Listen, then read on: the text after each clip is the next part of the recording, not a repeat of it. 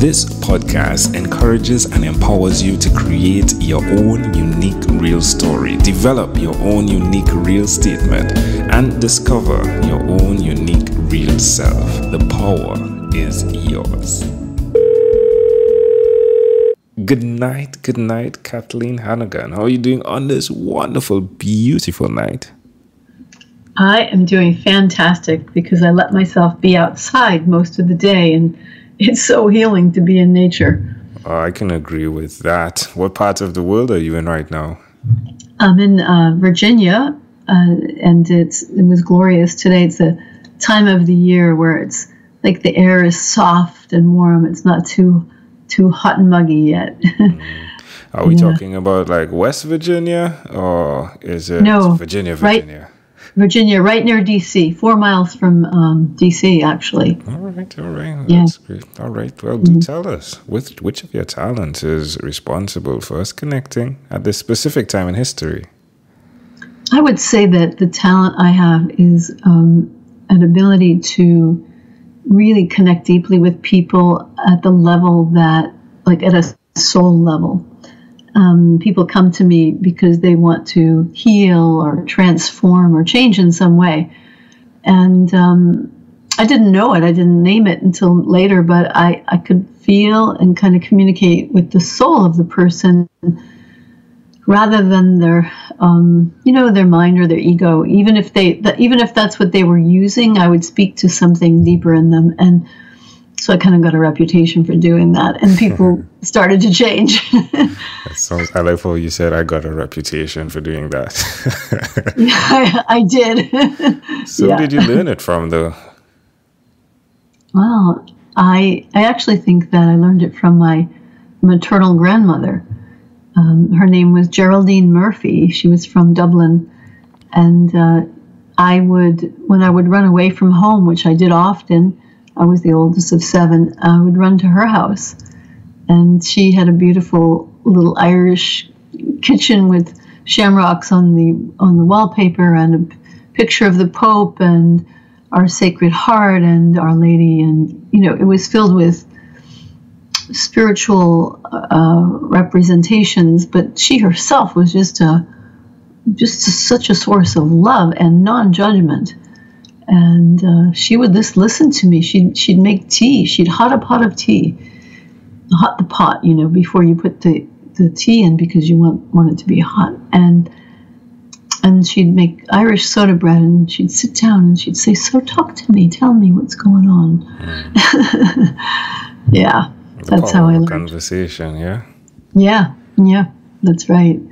So now that she got me. Now that you've gotten that reputation, why will you continue to repeat uh, the skill of uh, listening and speaking to the soul of individuals?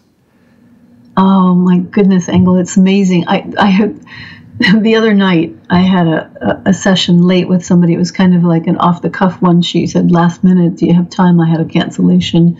She came in and she she just was a very big high executive kind of person, but she's already you know learned to trust me, and she she just bare her soul and and so many things, and we laughed and we cried, and, and she left, and I and I was cleaning up my office, and I I heard myself say, "Dang, I am so privileged to be able to do this." That's I heard myself say that. Mm. you know, it's so sacred, and and I know that I help people that way because when they, it's almost like that they by my listening i reflect back the, their wisdom that they already know hmm. yeah, it's a beautiful sight um, i'm reminiscing in it uh, definitely uh, i've found that the individuals that are able to have conversations with themselves are able to reflect the conversations of others and then help reframe them as well as you probably mm-hmm. did uh, last yeah. night. I'm guessing. Yeah, yeah, and and I'm just you know wired in a way that that brings me joy, and I'm good at it. Um, and then I finally wrote a book about it because I figured, well, I've been doing it for so long, so let me kind of uh, you know kind of create a a map for people, and when they as they go through their their transformational journey because it I see the same patterns over and over where people come in and they have a presenting problem they think it's about this or that and then we go down a whole other you know a whole other uh, beautiful uh, through another doorway that they didn't know was there and the thing they came in for was just um, we called the presenting problem you know and and opened a door to so much growth in themselves so when I see that, and then I see them become better people, this is how the world changes. Hmm. You see, uh, so this is my way to help make a better world. What's the name of the book? It's called Loveseed: The Template for Birthing a New World. All right. And uh, for those that are listening, where's the best place for them to connect with you? They can find me at uh, www.kathleenhanagan.com and there's a page there for my book and a lot of wonderful free things they can get on my website as well. Wonderful. Tell me one other thing that you've done consistently, Kathleen, over the last three years. Um, I've created a garden every year, and um, and shared my garden with many people. Um, yeah, that's what I've done. That's one thing for sure I've done, and and it's delightful. How does it make you feel? Joyful, joyful. Mm. Yeah, yeah. Why would you suggest other people do that? Uh, even just spend time in the garden. Yeah, just spend time there and touch the dirt, touch the flowers, because you're touching the mother. You're touching our mother. You're touching what's really important, and if you can connect to that, um, it, it, it's healing and grounding and helps you it connects you to, to like the beauty of being a human being on earth like in matter. Hmm. amazing audience you're hearing it live from kathleen hanagan. Again you can connect with her at kathleenhanagan.com she is the author of love seed the template for birthing a new world. Kathleen let's switch gears for a moment. Let me invite you now into my time machine that is surrounded with beautiful warm blue caribbean water. Kathleen mm. what's your earliest childhood memory?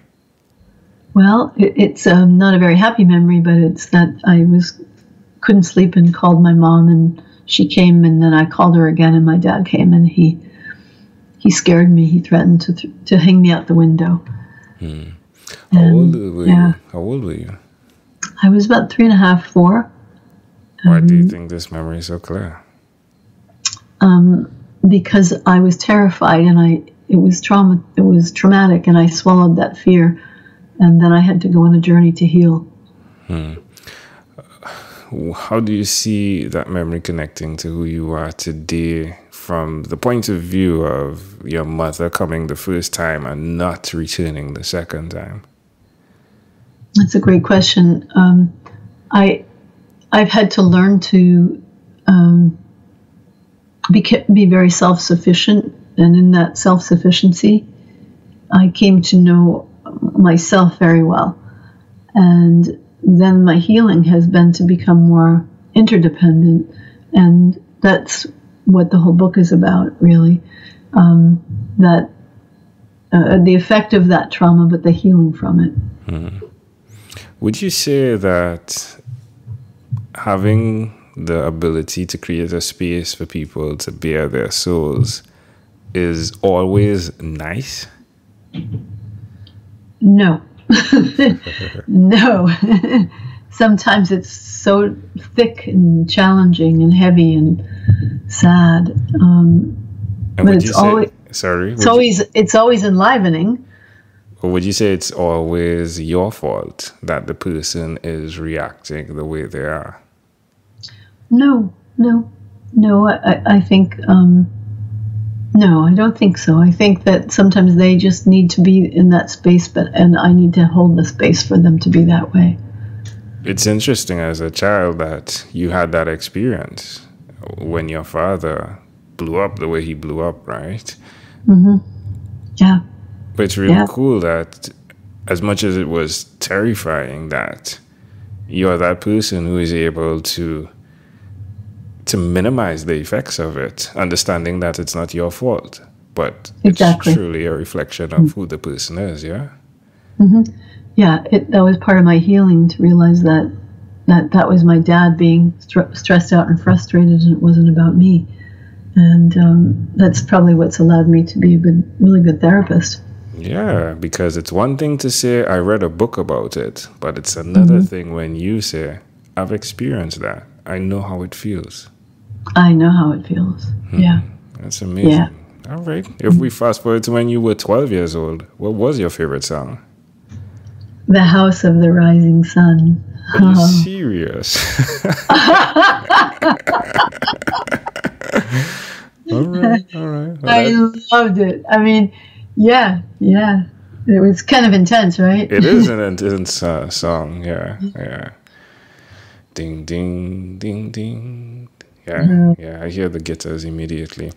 All right, my friend. Well, we've arrived at our destination. But before we get off of this time machine, there's a small declaration form. So it's yes or no. We're going to move pretty quickly here, though. Are you ready?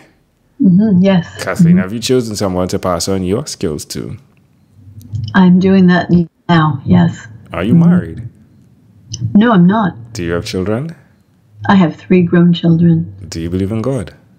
I do. Do you have an inner circle of friends? I do.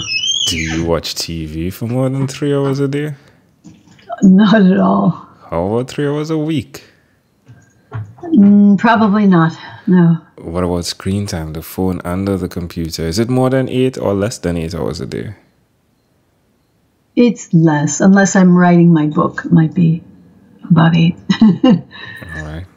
Did you say Bobby? And well, only if I'm writing my book, that then it would be longer. But no, otherwise, I, I'm just not into the TV. all right, all right. If you had to share with us your own unique real statement, a statement that represents who you are, Kathleen Hanagan, what would you say that is? That each and every one of us has everything we need inside to make a difference. Love it. I, my attention could not be swayed, but usually, but the door in the background, I'm like wondering, is someone in here?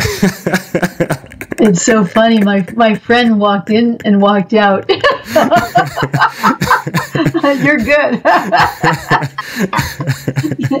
and she was like, "Oh, I'm getting out." That's wonderful. Yeah. All right, my friend. Well, again, Kathleen, this was such a great pleasure. Before you leave, is there anything else you'd like to share with our amazing audience? No, just that um, I'd love for people to read my book and um, stay in touch. That's wonderful. Kathleen Hanagan, again, thank you for being on What is Inspired by 12 Minute Convos with Engel Jones. This segment has been brought to you by Amazel Enterprise.